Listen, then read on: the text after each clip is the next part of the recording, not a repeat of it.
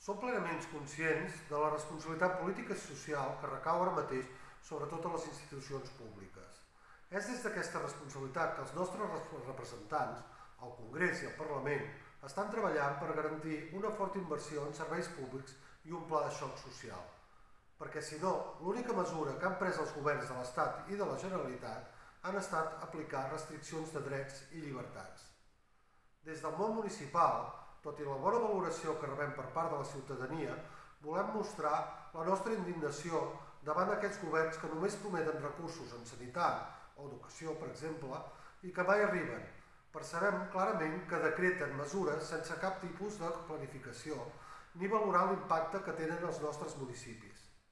Les seves mesures són només encaminades a treure'ns drets i llibertats, però no a millorar els serveis públics ni el seu finançament ni tampoc ajudar les persones afectades per aquestes decisions. Els ajuntaments, per responsabilitat, estem assumint totes les despeses que comporten les seves imposicions. Nosaltres som els coneixedors del territori i de les seves dinàmiques.